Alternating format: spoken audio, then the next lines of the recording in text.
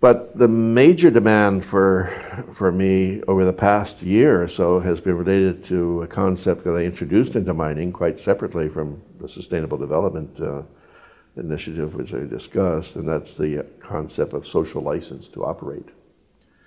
And, um, and I, I, it's interesting that that's become so prominent because when I introduced the term, I, I, for me, it was just a way of describing a certain situation that had evolved. And it was done at a conference at the World Bank in uh, March of 1997 uh, when they convened a group to discuss the next 25 years of mining and my subject being political risk. Where was, where was managing political risk going to be going over the following 25 years? And this, again, is from the perspective of 1997.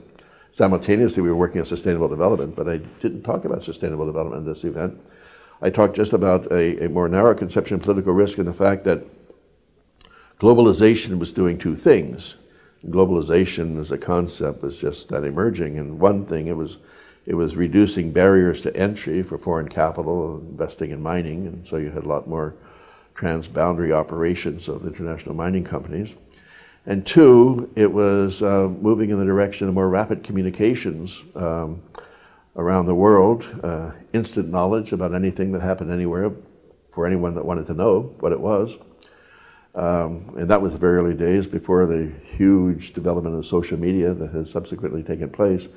But in those days, there was a story which I initially heard of the World Bank of a mining company that had this amazing experience. They'd been working on an exploration project in Papua New Guinea and they'd reached an agreement with the local landowners around the site where they were exploring. And a few months later, they were talking to a tribe in Brazil about a possible exploration project, and the tribe in Brazil says, We want the same deal you gave those people in Papua New Guinea. and, this seemed astounding, you know. Yeah.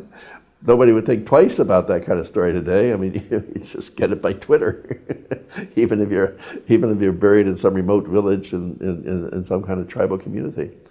But um, but in those days it was new, and what that meant was that in many developing countries, the local communities where we were operating were isolated, in a sense. Um, not just physically, but politically from the governments of the countries.